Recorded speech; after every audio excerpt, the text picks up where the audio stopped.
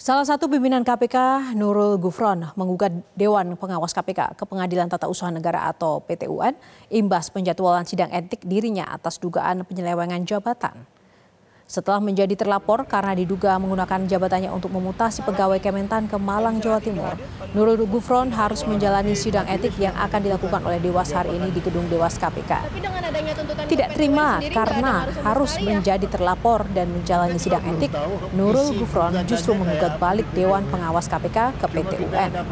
Gufron berdalih. Kejadian tersebut sudah kadaluarsa karena telah terjadi satu tahun yang lalu dan bila sudah kadaluarsa, laporan ini tidak dapat ditindaklanjuti lagi. Tapi apa gugatannya, apa isinya kita belum terima. Nanti pengadilan yang kasih. Tidak apa-apa, tidak ada masalah kok. Ya. Terima kasih ya, Bu. Terima Bu. Oh, nanti majelis yang menentukan mau diapakan. Tapi dengan adanya tuntutan ke PT UN sendiri nggak ada ngaruh sama sekali ya? Kita juga belum tahu isi gugatannya kayak apa di PT UN.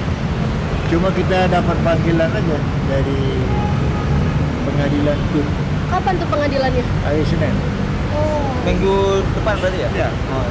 Sebagai Tapi untuk... apa gugatannya, apa isinya kita belum terima.